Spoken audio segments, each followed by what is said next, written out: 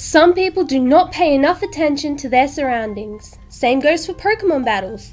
Hey Pokemon trainers, I am Angel, and today we are doing something a little different to shiny hunting. I'll be teaching you how to farm rare items such as evolution stones in Pokemon X and Y, even after you've found them through set items. The way is through the Pokemon battle scenery and the use of some special TMs. Without further ado, let's get started. To find thunder, fire, leaf, water, float, and hard stones through this method, you need to use the various caves or routes listed such as Connecting Cave, Sea Spirit's Den, Terminus Cave, Route 9, 13, and 18 to find sharp rocks in the background of battles. There are two types. The one shown gives you the evolutionary stones, while the second type, which is only found in caves and dungeons, will give you the float or hard stone. Use moves such as Hyper Voice or Rock Slide on the opponent to damage the rock which will leave you with a random stone in the aftermath of the battle. To find a Never Melt Ice or a Snowball with this method, you need to use either Route 17 or the outside of the Frost Cavern to redeem your item. If you are after the Snowball, this is in fact the only method to obtain the Snowball in the game. The Snowball is a once-time item which is to be held by a Pokemon during battle. If it is hit by an Ice-type move, your Pokemon will consume the item and increase its attack one stage. To find the Snowball, you need to use Hyper Voice or Rock Slide on the snow pile in the scenery of battles. The battle right now depicts the snow pile. If you are after the Never Melt Ice, which increases Ice-type moves power by 20% if held by a Pokemon, you will need to use either Hyper Voice or Rock Slide on the Ice Crystal, which is depicted in the second battle shown in the video.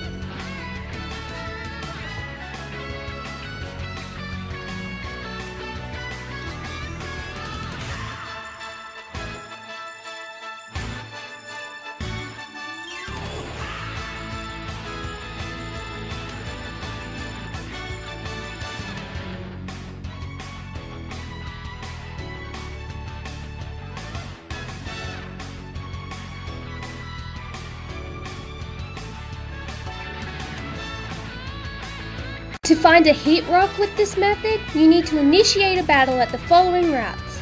Route 8's Clifftop, Route 9, Route 13, the east of Route 18, or the east of Route 19.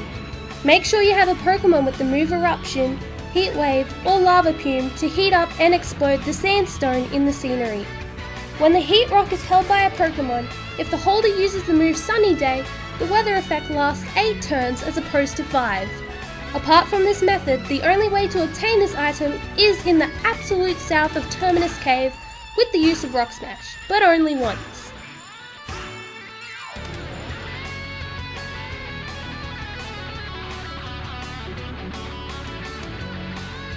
To find an ice, damp, or smooth rock with this method, you need access to Connecting Cave, Sea Spirit's Den, Terminus Cave, Victory Road Cave, or the Unknown Dungeon to find a thin rock. I have only found the damp rock with this method, but Serebii's post did state you can find the other two types. For the video, I will only go into detail about the damp rock. When the damp rock is held by a Pokemon, if the holder uses the move Rain Dance, the weather effect lasts 8 turns as opposed to 5. Use the moves Muddy Water, Surf, or Water Spout to topple over the stalagmite to reveal the rock. Berries are found in all different locations. I will not go through all of them, but I will list the berries found by tree colour. Blue tree, Oran, Coba, Yache and Passho berries.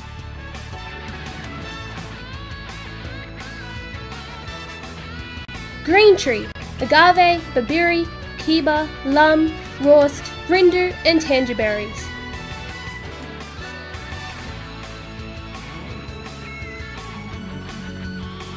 Pink tree, Pecha, Persim and Mago berries.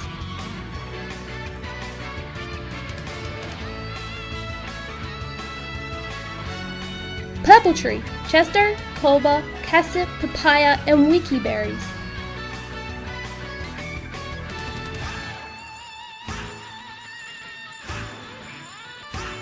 Red tree, Cheri, Chople, Figy, Haban, Leppa and Occa berries.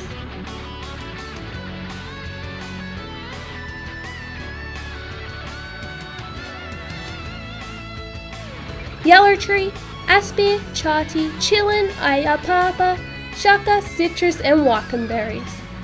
Use Air Cutter, Blizzard or Twister on the desired tree to obtain one of these berries.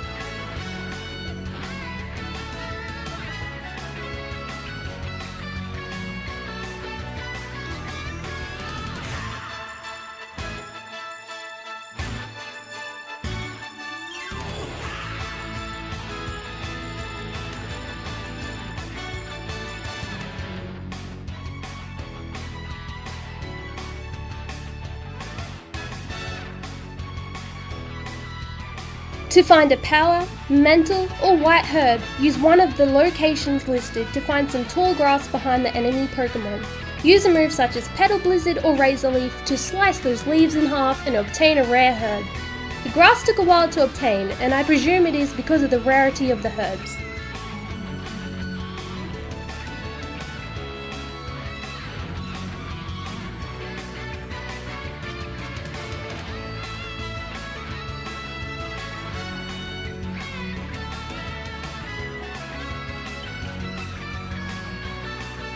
The luminous moss is the only item to be found in the mossy rocks in Glittering Cave.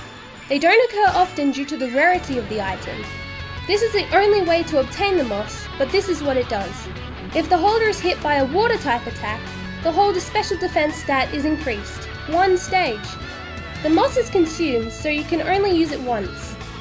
Use either Hyper Voice or Rock Slide on the mossy rocks to obtain your very own luminous moss.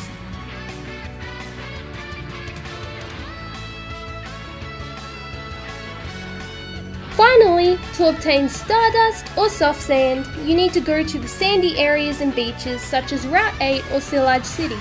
Another rare wild battle scenery to encounter, the Sand Pile will give you one of the two items if you use the moves Hyper Voice or Rock Slide.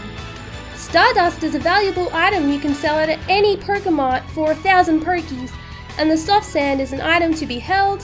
Any ground type move used by the holder has its power increased by 20%. Hope you enjoyed the content and learnt from this video. If you would like a specific tutorial from me, leave it in the comments down below. If this video was informative, please leave a rating. For now, take care and good luck shiny hunting!